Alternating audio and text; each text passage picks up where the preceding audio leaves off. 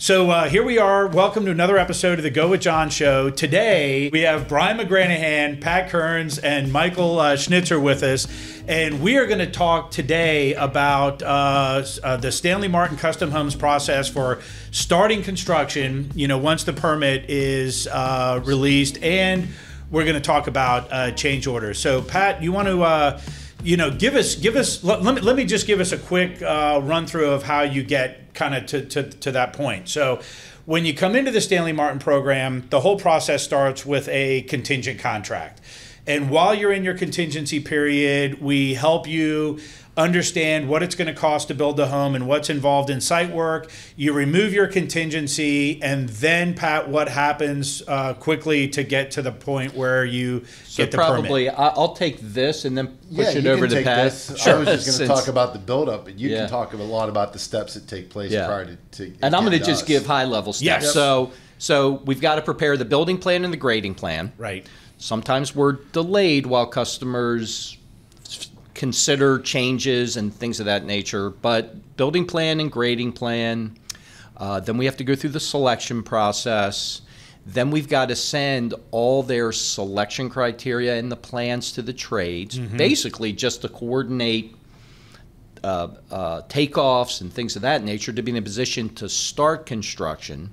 And so, what we tell customers, and we give them a, a timeline, and we actually send them timeline updates regularly, is that we need all the information complete about 60 days before we start construction so that Pat and his team is in a position to actually build the home with as little errors as possible with the thought process that, the more unknown and uncertainty there is before the start of construction, that trickles down into construction. So one element of uncertainty could be 10 errors in the construction phase. So um, I think that's probably a good a good start. Yeah, and and there's a lot of stuff that we're doing in the background leading up to that point where it gets released to us, right? The the back office and, and our staff the, on the production team are reviewing the plans, making sure there's no you know things that are going to impact the selections that they've made because if they choose bigger trim or a different type of cabinet layout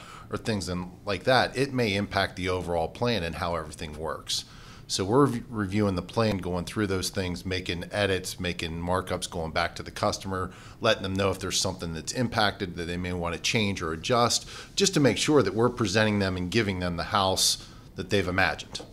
Um, you know, then we'll sit down with them and do their pre-con meeting, which we talked a little bit about previously in, in, in different episodes, just going over and making sure everybody's on the same page. Right. So Inter- pre-con, that's short for pre-construction. pre-construction Yeah. meeting. So we're we're introducing ourselves to them. We're explaining the timeline. We're talking about the process, trying to answer a lot of those questions that people are typically pretty anxious about because they've gone through a long, drawn-out process. Mm-hmm. Not always long and drawn out, but it, it in the in the amount of time that it takes to do all the things that Michael talked about, getting through the approval process, getting the grading plan, making their final selections, all these things. It, it takes time. So there's a lot of buildup and excitement mm-hmm. for both them and us. Right. We're looking forward to starting a new project. And for us, a lot of times, it's as soon as that permit comes out, they're like, the customers, they want to get started. Mm-hmm. They want the process to start. They want to see something actually happen on the site. But there's a lot that leads up to us being able to do the stuff on the site, which is what we're going to talk about today. Okay. And and so the permits get released to us. We have to make sure all the, the parts and pieces are in place. Um, like Mike talked about, that we've reviewed and signed off on the plan, and everybody's on board with it. That the back office and us have kind of had our meeting to go over the plan to make sure that the information that was passed to the back office, the little small details, get conveyed to us so that we know what to expect and, and what the customer is expecting. Um, and then we have to set up with the county to do something similar to what we do with the, with the customer, which is the pre-con meeting with the county. Right. So uh, uh, Brian's really familiar with this. He's worked in a lot of our different jurisdictions, which is why he's here with us today to kind of go over that and talk about some of the steps and the and the, the process that we have to go through just to be able to begin construction of the home. And, and maybe one thing, and then we'll let uh, Brian kind of, you know, give us some of the details. Is we anticipate different things like permits. So we will have the pre-construction meeting X number of weeks in advance, right? We don't want to get all the permits and then say to the customer, hey, let's have a pre-construction meeting. So sometimes in terms of people being anxious to get started, a lot of it is because we're teeing them up. Right. Right. We're having this pre-construction meeting. Well, what do you mean you haven't started? Well, we're having it early, so we're in a position to succeed when we get the permits. Right. And so, you know, I'll turn and it the over to pre-construction meeting is also driven, off- drives our turnover meeting, which is where we're meeting with the back office and getting the download of the house and all the ins and outs of Right. it. So a turnover meeting is when It's just the in-house, yeah. in-house, right? So that's when the the, the That's the, prior to the uh, the, Pre-construction. the pre-construction Exactly, meeting. and that's when really the, they're meeting. The team is meeting with you, the project manager, and they're explaining to you Yes. what needs to be built before you're meeting with the customer, so you can get your. That's what a turnover meeting is. Yeah, and we generally do that about the week before, so that once we do the pre-construction with the customer, it's fresh on our minds. Right. We kind of know everything about the house, the site cost, Mm-hmm. and timeframes moving, moving forward. But to, to Pat's point, with regard to we get the permit, I mean, it may take a day or two to get it picked up because we got to pay the fees and blah, blah, blah. And then what happens, Brian?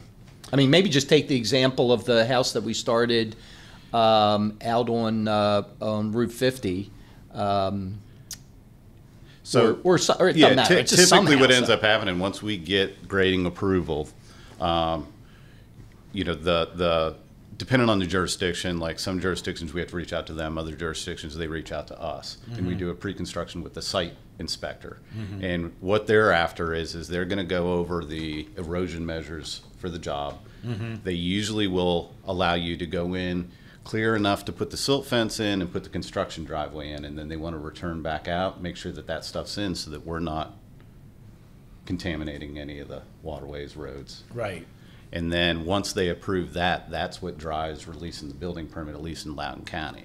Hmm. And Fairfax and some of the other jurisdictions, you just have to have, you usually have your building permit, and then you just have to have the pre-construction and the site inspector sign off before we're allowed to do the first step of Yeah, so- clearing.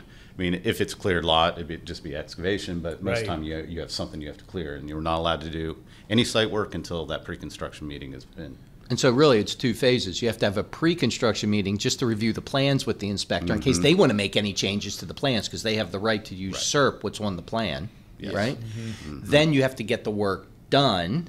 Then you have to wait for the inspector to come back out to certify the work is done the way the plans call for, plus whatever changes he may Mm-hmm. want to make. And then you can begin starting, I'll call it land development. And, and they may demolition. approve it, and it may be another four days though before you actually get the release of the Right. the Yeah. Building so- permit. Yeah. or- Yeah, so the big thing to keep in mind is there, there's a couple things going on here, right? One is we're meeting with the county site inspector to review the approved erosion and sediment control plans. They may adapt those or make changes to them when we're out there because they see something in the field that they want us to to to protect even more than what's already there. Um, uh, you know, you also have in a lot of cases we're going into areas where we're trying to save or pre- preserve trees. So you'll have an arborist that's involved with it as well that walks the site with you, that looks at what tree protection measures we're putting in, what trees we've agreed to take down, um, how we're going to take them down. Are we going into a protected area? Do we have to take extra measures to protect the, the trees that we're trying to save? You know, root pruning, uh, all those things are in, in, included in that inspection that we have to, once we get the permit released to us, or in some cases, we have to go in and do these measures to get the permit released. Um, you know, we have to go through and review that and go over with it. Then we have to, on top of that, even though we've met, we then have to get Miss Utility called out because we're going to be doing digging because we're going to be putting in silt fence. We're going to be, you know, digging up and doing root pruning measures. We're not allowed to hit utility lines, so we have to wait for Miss Utility to come out and mark.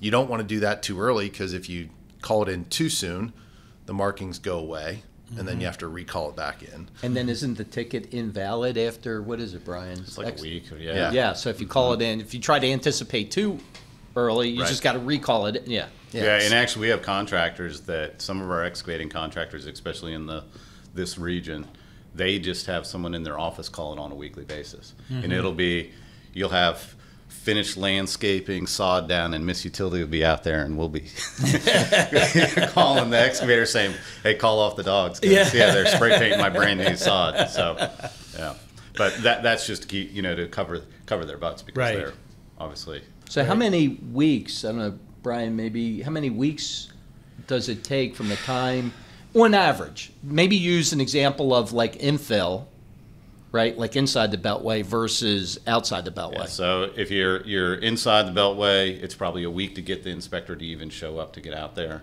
and then once you get them to show up, I generally it takes about a week to get your contractors in line. So they're they're usually scheduled at least a week out.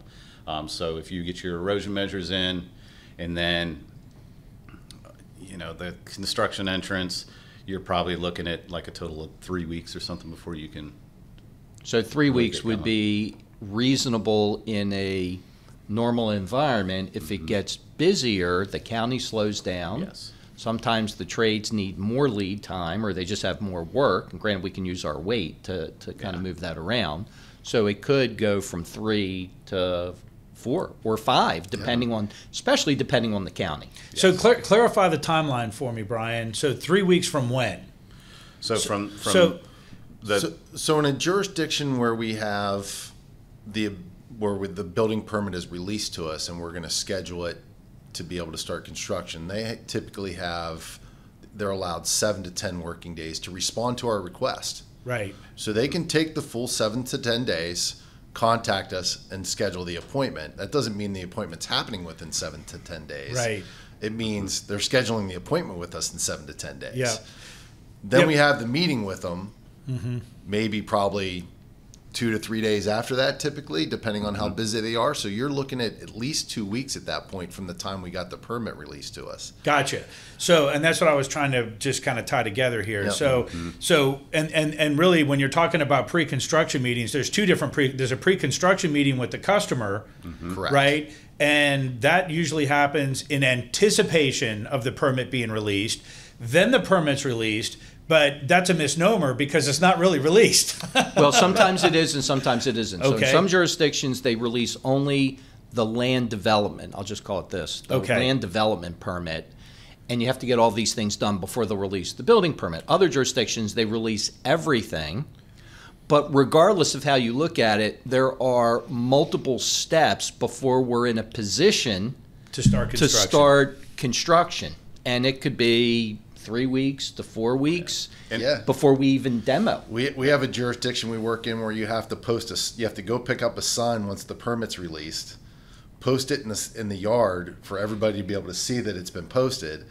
And the county has up to five days to come out and acknowledge that the sign's been posted before they'll allow us to schedule the pre-con meeting. That's in Montgomery County. Wow. yeah. So, mm-hmm. Yeah. I mean, it's just, you know, and these are kin- some of the things you, some it's kind of all over the board on. because then you look at Prince William County. Prince William County releases everything. There is no pre-construction meeting, Right. And you just start. So they, I, I It's the Wild guess West. that their theory is is that if the building inspector comes out for the first inspection and you have no erosion controls in place, he's just going to automatically fail you, refee you until you get them put in place. Which at that stage, you're already two months into the build. You mm-hmm. know, mm-hmm. so.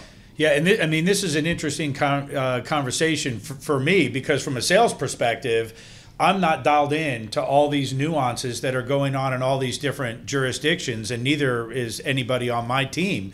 And, you know, so we give very high level answers to the public. And then we always tell them, you know, when you get further into the process, we're going to get you more uh, detailed uh, answers. But it's really interesting how different it is from jurisdiction to jurisdiction. Yeah, yeah. It's there's there's a lot of different little things that nuances that are out there, and and that's why we have the team that we have is because they're experienced with them. They know how to navigate through them. Mm-hmm. They they've worked in these different areas and are familiar with not just the process, but a lot of the people and inspectors that are working in those areas. Right. So a lot of times that helps us facilitate the process, and hopefully it isn't as drawn out. You know, our obviously our goal is we want to get the process started and start building the home right away too, because that that leads to successes for us as well. Right. So you know, and and and I the, I think the thing for us is we get it. we understand. Hey, look, the the customers have been, our clients have been through a lot leading up to that point. There's a lot of anticipation and excitement on getting it started, and they're lathered up and, and want to see something happen. Mm-hmm. and and it, it it's just as frustrating for us too because we'd love to get in there and just knock everything down and start building a house. Right. Um, but it's it's the nature of the world that we work in, and, and we try to navigate them through this process and, and make them understand that hey, there there are some steps that are going to have to occur before we can actually put a shovel in the ground, Right. And you can start to see the the progress of your new home, Mm-hmm. and that's that that's kind of you know what we wanted to kind of discuss and go over here is is is to help help guide you through that process. Right. But isn't there aren't there times, Brian, especially on the infill projects, not when we're building on ten acres, where there's a lot of coordination with the neighborhood, or at least the adjacent neighbors, because of trees, because I don't know. if you- Fence, shared joint fencing, you know, we're taking Joint fence down. driveways. Yeah. Yeah. Yeah. I mean, there's, Yeah. there's, yeah, Parking in the street. the cutting trees down on the property line, Yep. you know, because there's a lot of shared trees and we'll get mm-hmm. letters Yeah. from the neighbors saying that it's okay, but obviously we want to notify them and make sure that they're not Right. having a When, graduation Brian, when, party or when you like say that. that, we've already gotten permission if we're taking a Yes. shared tree mm-hmm. down. So it's mm-hmm. right. In fact, the county wouldn't release a permit if it showed that we were taking a tree down that was on the property mm-hmm. line. Right, right. But you still don't want the neighbor who already approved and signed a letter Right. to come back, go to work, and come home that next day, and they're like, "Whoa, where's the tree?" So we want to coordinate with the neighbors to make sure that we have, you know, just a good relationship. Yeah. So go ahead, Brian. And we get with those infills a lot of concerns from the neighbors, especially when you have a property that you know down slopes to mm-hmm. somebody else's backyard where they have it fully landscaped patio, and they're worried about the runoff because, well, for good reason. I mean, Yeah. so you know, a lot of times once we start, you know, we start on that, they're they're coming over and they're talking because they they want to share their concerns. And, Sure. Yeah, and- and and, sometimes does that those. lead to um, getting with our customer and taking potentially extraordinary measures that aren't even on the plan, just to appease the neighbors in a good way, Right, right? I right. mean, if doubling we up do on good, silt fence or, Yeah. or you know super silt fence instead of standard silt fence, and then Right. putting silt fence in front of that berms. Mm-hmm. I mean, high level, when we go to build, it's also a marketing event, right? Sure. So if we're not doing, if we're not being good neighbors to the neighborhood, that doesn't help us with future sales. Sure. Right, Absolutely. so- and the I guys think, know that. I think the other important thing to, to that we try to keep in mind too here is that the customer's moving into that home and has to live with those neighbors long term. right. You know what I mean? For us, we're building there. We want to keep a good marketing name. We want to hopefully, you know, encourage other people in the neighborhood that are considering doing the same thing. Yeah. That we're the right builder to go with. But more importantly, once we're done and we turn the keys over to that customer, they have to cohabit that space with whoever was next door to them or behind them or adjacent to them or across the street from them mm-hmm. while they're living in that house. Mm-hmm. And you know, we're trying to keep in mind that you know, even though we're the builders, that customer is the one that has to move into that home and live with those people. And you know, they, they, want to have a good neighborly relationship and not Right. be the dredge of, of the neighborhood because we. Pat, Pat we here's a here's a key. It's a good point, and here's a key metric. We have some neighborhoods, especially in the infill, because in the you know, when you're out in Prince William or Loudoun or in Poolesville, Maryland, I mean, depending on where you are, you, you can't even see your neighbors, right? I mean, you just don't even know that they're there. But uh, we have certain neighborhoods and certain streets where, over the past 10 or 15 years, we're the only builder that has built a new house on that entire street. I know, it's for pretty cool. Five, six, seven, eight, nine, ten customers. So Yeah. we must be doing something right for the entire neighborhood to want to continue to use us, Yeah. right? If we do bad work, right, it's, Absolutely. it's not good. Yeah, So. absolutely, and I and I yeah, you guys do a really great job with with managing the neighbors during the build, and I I know that for a fact because I rarely, rarely ever get a phone call. Uh, from anyone, and you know the sales number is on the sign in front of the house. So if anybody's upset about anything, we get the call. Yeah. Well, our, our, our PMs, so we send out letters to the neighbors. Our Yep. PMs will give neighbors their business cards, Yeah. right? So if something is up, you know, Let us know. let us know. We, we, we may be on site, but we may be managing, you know, two or three other projects, and so you know, just get on the horn with us. I mean, there's there's been occasions where we've gone to the store and purchased no park, even though you can park on the street. Right. We purchased no parking signs to make sure that there are no construction vehicles. Right, parking. No U-turn in driveways. Yeah. You know, certain, certain like pipe stem type driveways Mm-hmm. where people will pull in and then they'll U-turn in somebody's driveway and that, you know, we'll, we'll stick up signage for that as well. So all of these things can add time. So and, and it's great to be here today, you know, to kind of talk about this from a sales perspective and from a from a building perspective, because we have to give very high level answers as a sales team.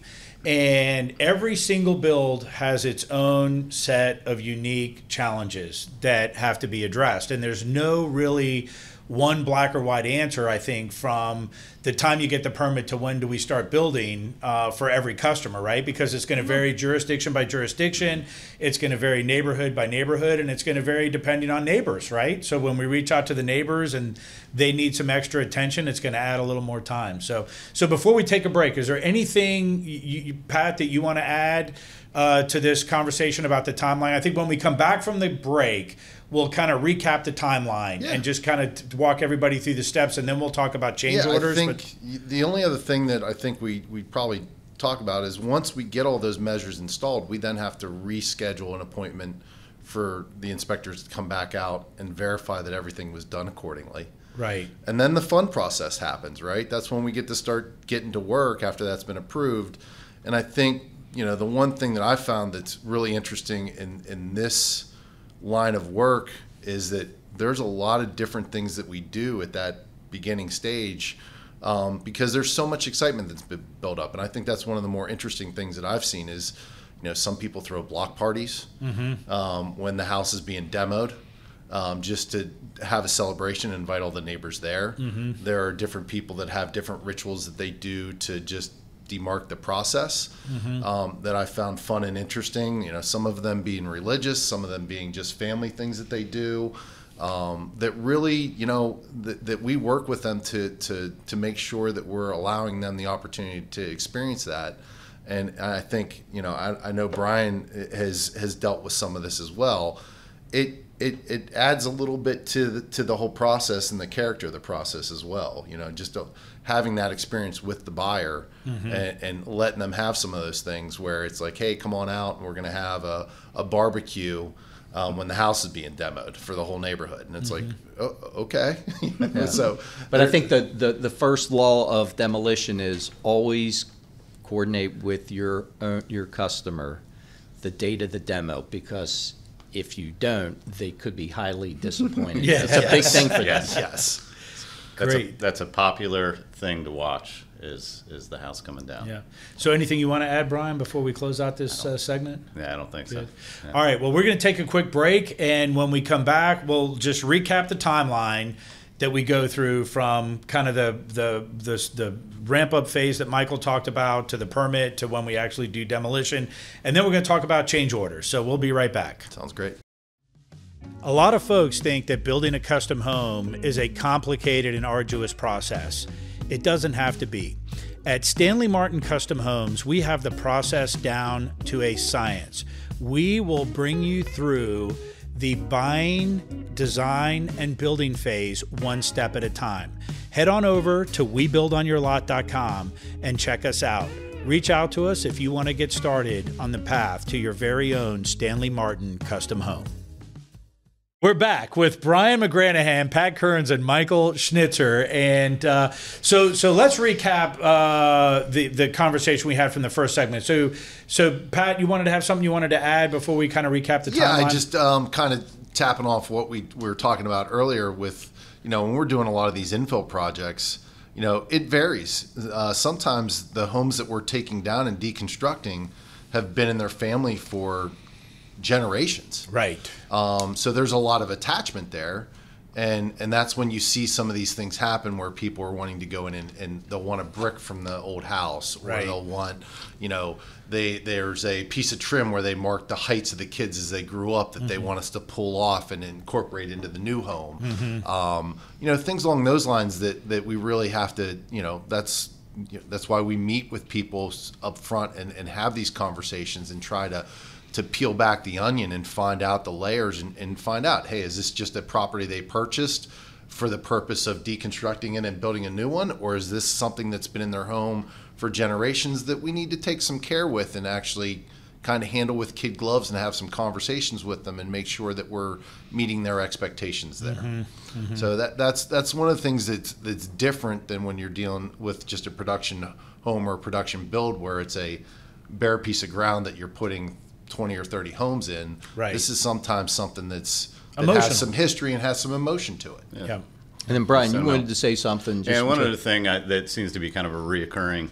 uh, um, item that comes up at the pre-construction, you know, like Pat said, um, the customer's anxious to get going, they're excited, and um, you know, part of the steps to get us to that start is making sure that the on the office side that we're ready to build with with with regards to um, the site cost being signed off, uh, the building plan, the site plan, and all these things. Um, we're anticipating dates that that we think they're going to be ready, and we'll schedule our pre-construction, knowing that we're going to have that stuff done in time. But then there'll be things that hang it up, and it ends up taking a little bit longer, and and it, and it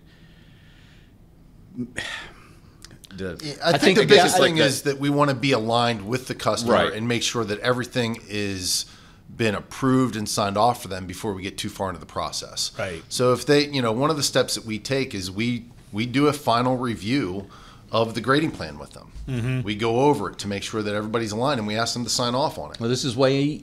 Pri- this is much prior to having a pre-con. Yep. But Right. I think Pat Pat's The Pat's customer right. pre-con, yeah. the pre-con with the customer, and sometimes you know customers think eh, their their thinking process and approval process is different, right? They Mm-hmm. dwell on things and whatever, and sometimes it can slow us down. Not that we're slowing down the county pre-con and getting everything teed up, Right. but we could get to a point where, oh, this thing is not done. The grading plan's not signed off, or, or the site costs aren't signed off. We aren't moving forward. They don't want us to move forward, right? We Right. got to be 100% aligned. Right, right. Absolutely. Good. The, I would say the only last thing is um, I don't want to get too too in the weeds with this. That a lot of customers with demolition will do deconstruction. Correct. I don't know that- if we want to. Yeah, so there are services out there that you can, in- basically, that will take materials from the existing home and reuse them. Mm-hmm. Um, you know, some of them are reused for uh, with veteran services, Right. tied to the veteran services. So they'll they'll use those those things for you know. Um, you know, uh, Brian can probably talk to this more, but a lot of times it's for training too. Mm-hmm. They'll take the the stone or the brick um, and and use it to for for people to learn how to become a mason. Mm-hmm. Um, you know, they'll take the trim work or the windows and, and things like that, and they'll remove them. Um, I think there's different levels of deconstruction. I mean, I've Yep. had it all the way to where they're taking the floor joists and any two by fours they can salvage out.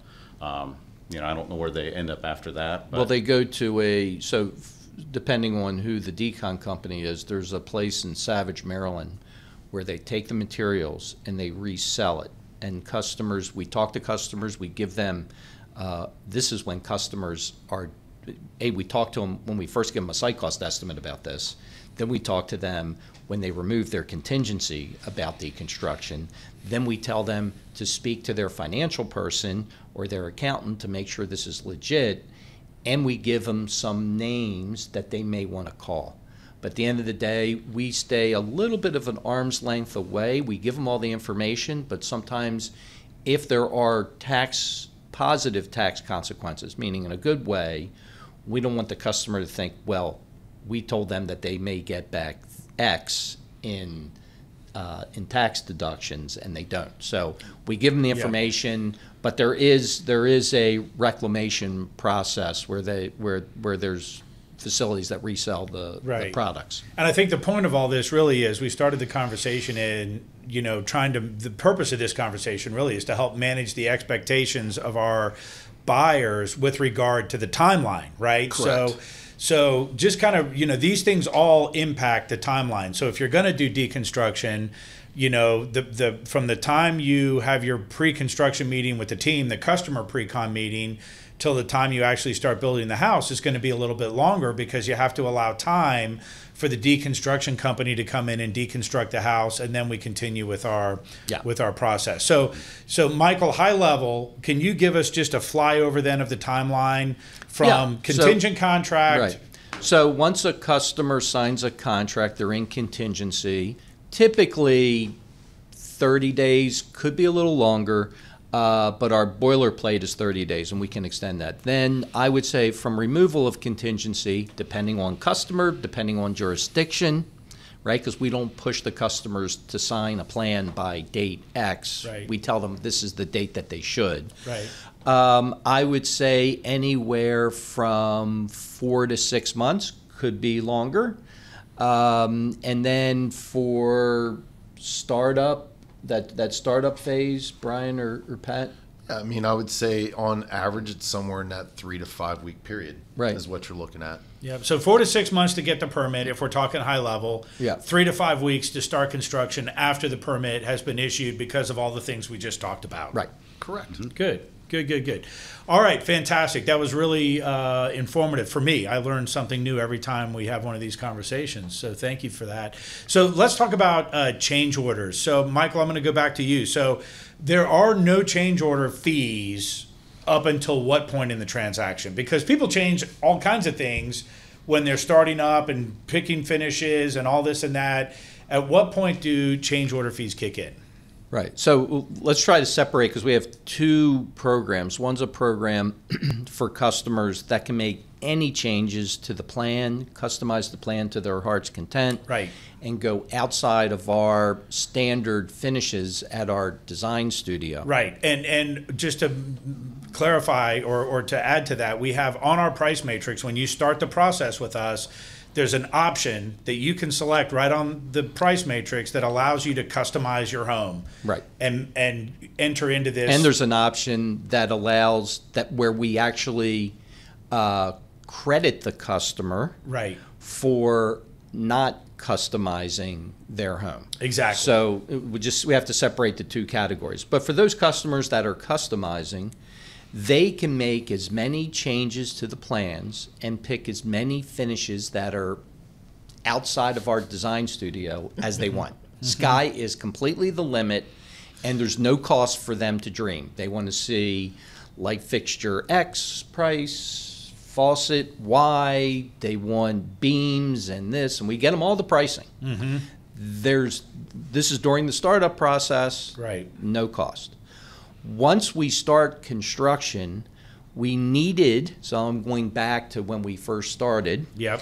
we needed a way to get the customers to stop dreaming and stop slowing down the process. So Right. what we said is we're happy to to entertain any change request after we've started construction, mm-hmm. right? But we want you to think first. And so what we say is you pay us a minor uh, change order fee. That fee gets applied to the price of the change order if they purchase what they've asked for. So let's say the customer purchased something via a change order after start of construction that was $1,000 Right. right? The change order fee we get applied to the thousand dollars. So basically, the fee goes to zero. Right. So, So we don't really charge them. Yeah. So Yeah. there's really no cost for a for a change after the start of construction, as long as the customer Buys the change. buys the change. If they don't, it's a great mechanism to say, okay, are you sure you want to spend money to keep dreaming? Right. So that's that's kind of our Yeah. So what was happening before we had this system was People were dreaming. and asking I had for one pricing, person yep. in the back office that was chasing customers' dreams after we started construction. And very where few of the items were 98% purchased, yeah. of the time they were not buying them. Right, We had to come up with a Yeah, mechanism. and I, and I think the biggest thing to point out here is is that a lot of those dreams and things are worked out during that process.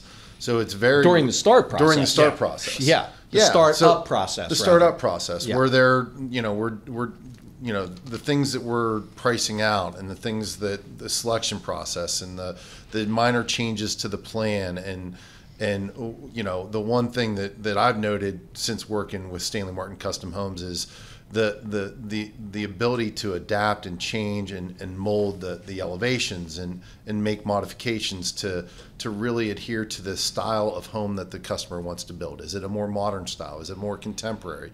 Um, you know, do they want a farm style? You know, all those things that that we're able to work out and do prior to actually us getting the plan so that the things that we experience and we deal with customers on the change side once we build the home are typically minor in nature. Mm-hmm. Like they're little things that maybe the customer didn't think of until they've walked in the home and are like, you know what? Eh, we're building this deck on the back and we're going to cover it. We didn't think about putting a ceiling fan in, in, in this area. So They would have thought about it because we would have. But Yeah, I mean, it's a good example. it, Yeah. it- it's just it's just an example I'm throwing we would have gone there. over that with them during you know the what I mean? Like, process. There, Yeah. and, and a lot of times when we're going through this, like we have customers that are like talking to us about they they put too many too many things in front of me as far as options to select because there's just so many things that are out there now. Right.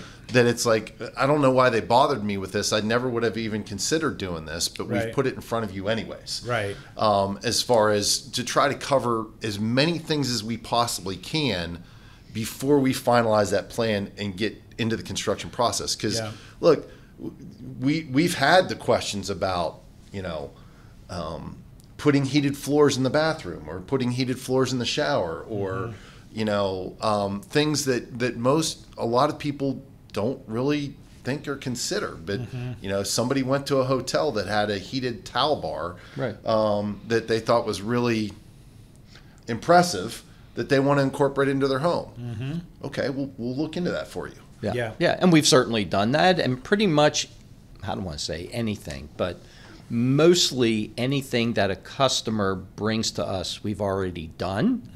Um, and you know, we give a customer a list of we call standard options, standard features. So there's a there's there's many faucets to pick from, lots of flooring and cabinets and mm-hmm. tops and mm-hmm. blah blah blah blah blah.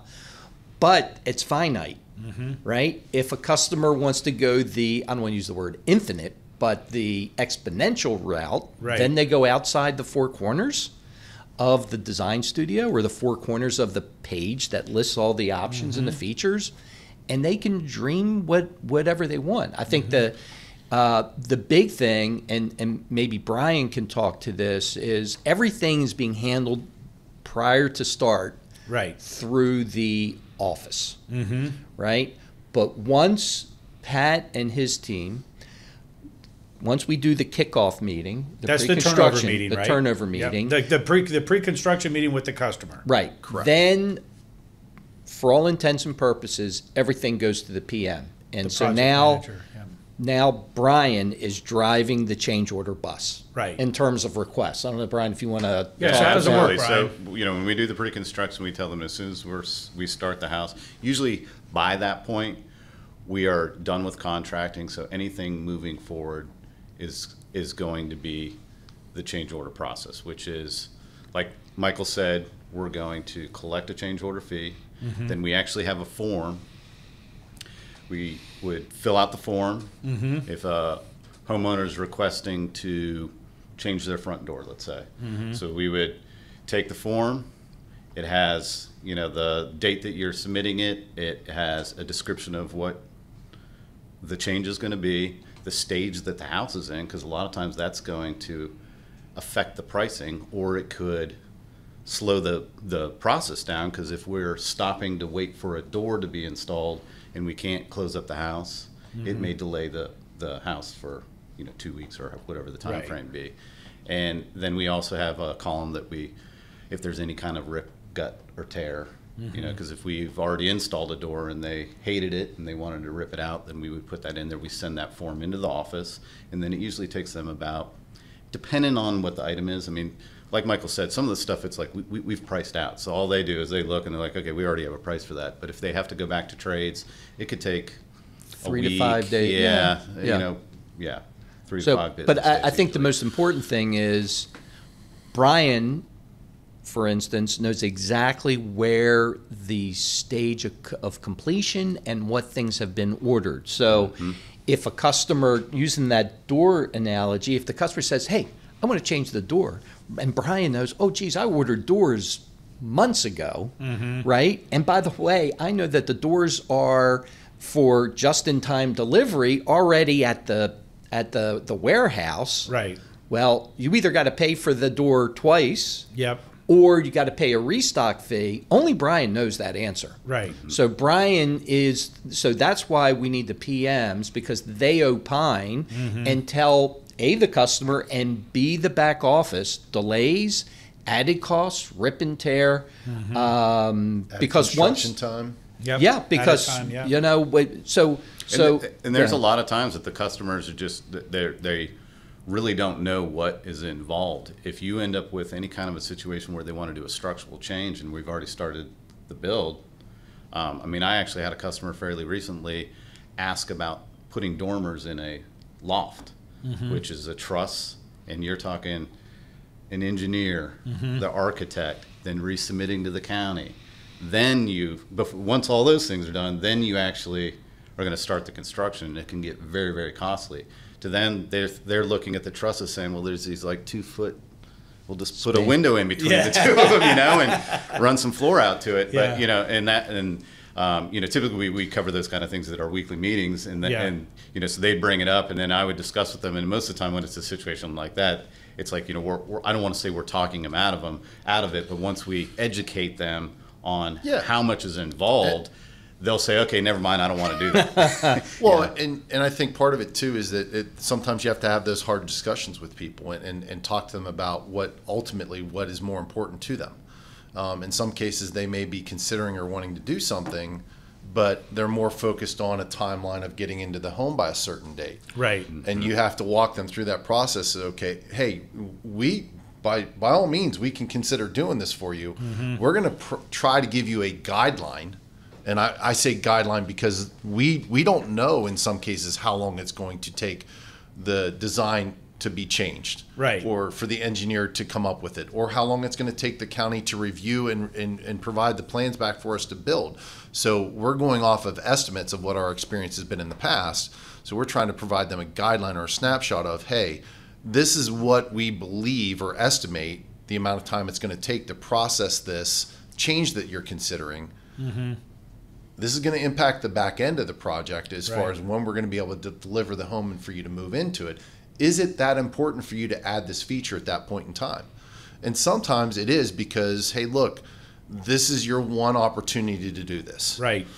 because you, you're not going to want to go and do this once you're living in the house. Right. But sometimes, even though it may not be beneficial for us monetarily, Right. um, we may go to the customer and say, hey, look, if you really want to put this deck on the back of your house, Yeah. you may want to consider doing this after the fact because it's going to stop us from being able to deliver the home when you want. Right. And you can live without a deck for a month Mm-hmm. or two months and have it installed once you're in the home. Right. But the dormer you would have to do. Yeah. So how long would it take? I mean, I know you don't know, right? But wh- Well, so we can give some. So, so I think there's there's two things. So one is the once Brian coordinates with the back office and gives the customer their price, mm-hmm. right, mm-hmm. based on the date that the office sent Brian the information. That change order is only valid for a certain number of days, right? It, Right. it can't be valid in perpetuity because Brian keeps moving on with construction. Exactly. So there's a limited time frame where a customer can actually approve. Otherwise, if a customer says two weeks after we've, I'm just picking this as Yeah. a, two weeks after we've given them the price that they want to make the change, sorry, that price is no longer valid and we're not going to honor it because now we got to reprice everything out. Where's Mm-hmm. The order? Yeah. Right. Yeah, and then there's a lot that goes into the change order because, you know, using that door as an example, I may have to go back to the selection staff. Right. They would have to pick the door. That that we're coordinating with the, with the purchasing side too for lead times, and and when you really look at it, it may be it goes across five different people's desks before we actually come up with an answer in, Right. in, in between the time frame and the cost of, Yeah. of Yeah. what it's going The to be. The good news is people can dream. even after they start. Right. We we have a throttle on it. Yep. and we don't discourage it. Um, everything runs through the uh, the PM, and um, we're happy to entertain. And you know, there's a finite time frame from when we give them a price and the and the specifications to when they can either accept it or if they don't accept it, it's automatically Right. rejected over time. Right. To, to answer your question, I would say if it's a major structural Yeah, change. Yeah, adding a dormer. If somebody Right. wants, So it have to go depends when in- they added the dormer. Right. So if they added the dormer when we're pouring the footers, Right. is a lot different if they add the dormer and we're under roof. Right. So there's no black and white answer to any of these No, questions, no, which is really difficult. Well, this is great because Well, it's hard it- to explain. Exactly. Yeah. And, But and- let me just say one thing though. So we can control how quickly our design, our, our architecture department and our engineer can turn things around. Yeah. Including getting the customer now to approve the plan again. yeah. But we can't control how long it takes the county, Yeah. to re-review and to approve the change. Yeah. Yeah, So- Pat, sorry. so No, that was Pat was just- just, I, I, inter- I So go ahead, Pat. No, and I, I think that's part of it too. One of the things we always advise them of is hey, look, if you're considering doing something, it's better to talk to us about it as soon as you're considering it. Yes. Rather than wait and try to make a decision as to whether you really want it. Because Right. there there's information we can provide you that can help you make that decision. Yeah. Not so much direct you in a way away from the decision, but help guide you in it. And that's that's the important thing too that we talk to people a lot about is hey, look, we're going to provide you with information. It may not be what you want to hear. It's not because we're trying to discourage you from doing this or moving forward with it. Yeah. We're just trying to prevent present you with as much information as we possibly can to help you guide through the process To manage to expectations. To manage expectations Yeah, so yeah. that you understand hey look i know that you really want that dormer Yeah. but this is this is all the cause and effect of what adding that And it may be worth it be. to them. They say, well, I'm going to live in Yeah. the house for the rest of my life. I Yeah. want the dormer. I'll accept a, a one month delay. Yeah, I'm just picking and a I, and. I think that's that's I think that's what I would say too. You know, and I think there are a lot of people out there that that when this when the sticks go up and the house gets framed up, and all of a sudden they say, "Oh my gosh, I really wish we'd put a dormer up there." And and you're right, Michael. If they're going to live there, I, I say invest the month, invest the whatever. We're not saying it's a month. I don't Yeah. know what the Yeah. timeline is, but you know, if if that's the way you think and that's what you see and you're agonizing over it, you should just bite the bullet, I think, and put it in because you, you may regret it. You, you can't go back and put it in later. You know, there's a lot of things that we can demonstrate two dimensionally to people and on paper Yeah.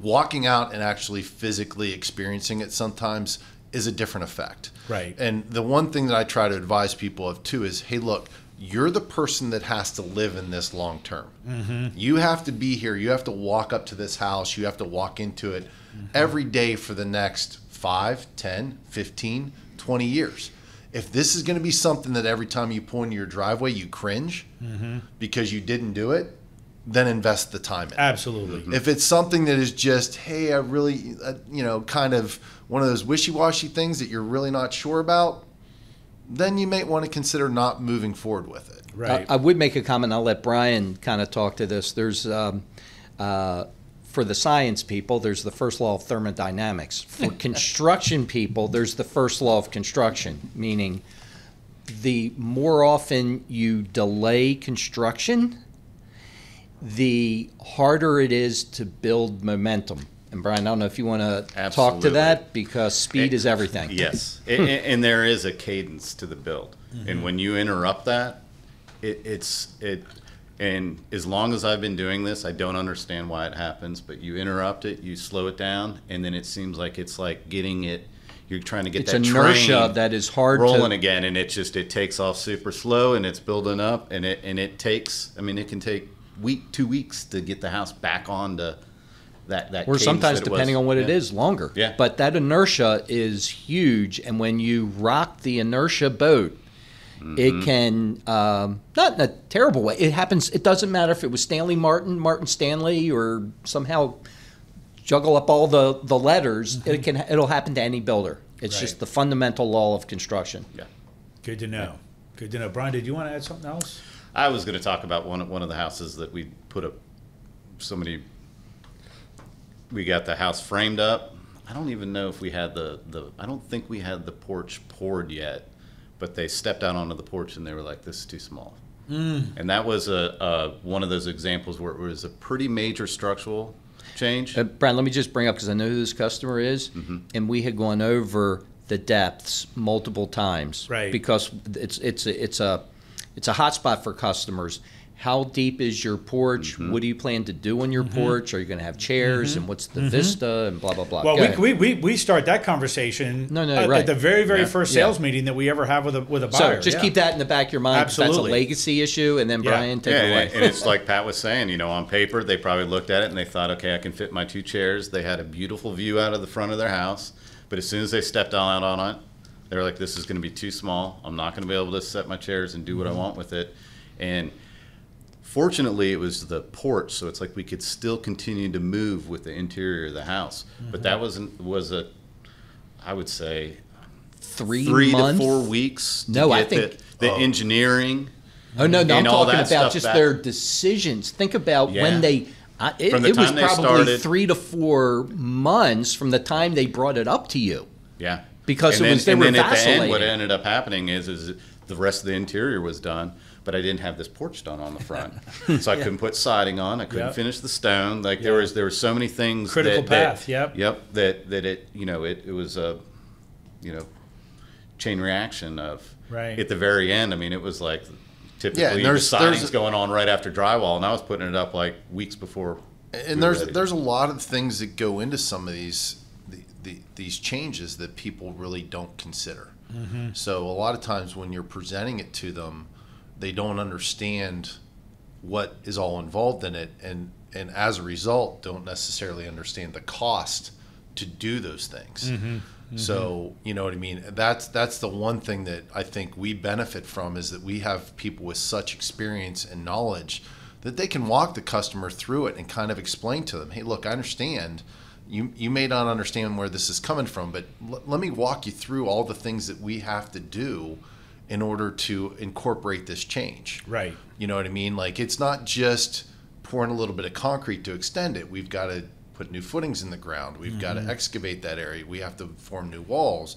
We have to then go back where we've already poured your porch and try to tie in new or deconstruct what's already been done. Mm-hmm. We've got to go to the the, Truss the, the truss manufacturer. We have to not just bring out new trusses, but we have to design them to make sure that they have the right loads and the right the right calculations to make sure they they can withstand what the code requires them to withstand. So we've got Right. to go through all that design process and change to incorporate that into the plan. So there's there's a ton of things. Then we have to actually get them built Right. you know um, so there's a lot that goes into it and, and and the other thing too is you know there's a wonderful thing that we do now which is you know one of the other things we explain to people is we do what's we have an automated bill pay cycle so it's great for construction in, in our in our in our in our co- contractors because our schedule that we have that our PMs used is tied directly to how we pay our contractors. So back in the day when I was a PM or a, a construction manager, I would schedule everything. in the 1920s. Yeah, in the 1920s. Okay. And then I would have to go spend two days in the office Right. reviewing and approving bills and signing Right. off on everything. And is hmm. it the right right amount and all this stuff? Well, now we preload all of our contracts before we even start the build process. Right. So all that stuff's loaded into our system, and then when our project managers sign off or check off that an item's been completed, it automatically pays our contractors right, Right. away electronically. It goes through and they get paid for it. We don't have to go in and review invoices. We don't have to sign off things. We don't mm-hmm. have to cut checks to them. Right. You know, uh, manually. It all gets done electronically. Nice. So they're getting paid quicker. We're able to schedule things easier. Right. It takes less time, but the one detraction is is that when we make a change, Yep. we have to reload that contract and it has to be uploaded back into the system. Yeah. So sometimes the one thing that drags is okay, the customer comes to us, they want to add a ceiling fan. Great, it's already a pre-priced option. Let's Yeah. add it in. Yeah. Let's get them to sign off on it. Okay, why isn't it installed yet? Mm-hmm. Well, we have to get it loaded so that the contractor knows that they're going to get paid for it. They see it in the system. Then they send the person out to do the work. Right. So there's a little bit of delay there because of the way our system's set up, but it's just one of those new nuances Yeah. that But is kind of there. But at the highest level, that system is designed to for velocity. Yes. And so even if there is some slowdown in that overall, we are light years ahead of the industry in cloud-based technology and how we pay people and things of that nature. Um, and I think at the end of the day, even with that example, Brian, that, that you're talking about, uh, the customer's still happy. Right. It's just it was a long drawn out process. Right. But in the end, they love their house and you know, Yeah, we and it's something they really felt was important. It's the way they wanted Yep. to live in the home. Right. It was one of those things that we had to assess and talk to them about. And, you know, is this that important to you? Yes, it is. Okay, we're going to move forward with it. and Yeah, it was and- important to Brian. Yeah. Yes, it was. Well, I, and, and I will say I've been in, I've been in this industry for a long, long, long time since the '80s. We can And- tell, John, just looking at you. But it's very unusual to be working with a team of people who are so patient and understanding with with the buyer, uh, the customer, and you know everybody in our team from Michael. I think a, lot of it comes from Michael. Michael takes an extraordinary amount of time with our buyers to explain what's going to happen and what's going on, and I think his DNA is throughout our entire organization you know, it goes down to the PMs. I mean, I've, I've, I've heard from many, many, many customers that they really appreciate that we take the time to educate them uh, because we do this every day and they don't, right? Yeah, and that's what a big part of this conversation was today with the change order. We're going to take the time to explain. In your example, Brian, with the front porch, it took the buyer, the customer, a very, very, very long time to make their decision as to what they wanted in the porch, but we worked with them to get it done, you know? Correct. And I think, you know, it's not always what they want to hear, right? They, they don't always want to hear the things that are impediments for them to mm-hmm. have this done to mm-hmm. their home. Right. But for us, it's more important that we get that out up front rather than give them the bad news after they've made the decision to do it. Right. And, you know, I think that's one of the really important things is is the communication process and making sure even though you may not want to hear this right now, we want to make sure you understand the impact of this decision. Right. We're not trying to keep you or, or shy you away from doing it. It's just a matter of we want you to understand and and follow along with us and be part of this decision mm-hmm. so that we can give you as much information as we possibly have available to us Yep. so that you can make the decision that's right for you. An you. educated decision. Yep. Yeah, mm-hmm. fantastic. Anything else else? anybody wants to add about change orders? Brian? Yep. I think that's yeah, that should Great. Fantastic conversation. I do want to uh, close and say one quick thing. So, Brian, you mentioned our conversation about weekly meetings that we had uh, earlier. You referenced that earlier in the uh, in this episode. So, episode 30 is a conversation that Brian and Pat and Michael and I had some weeks ago and it is off the rails. It's our it's our number one downloaded episode, and it's the last one we dropped. I think anybody that's listening here today, if you want to learn more about how things work during the construction process and the week to week uh, events that happen and what happens in the weekly meetings, go check out episode thirty and and uh, take a listen to what Brian and Pat and Michael had to say about the week weekly meetings. It's really a, it's a good episode, and the feedback we're getting back from the public is phenomenal. So I know you'll enjoy listening to that.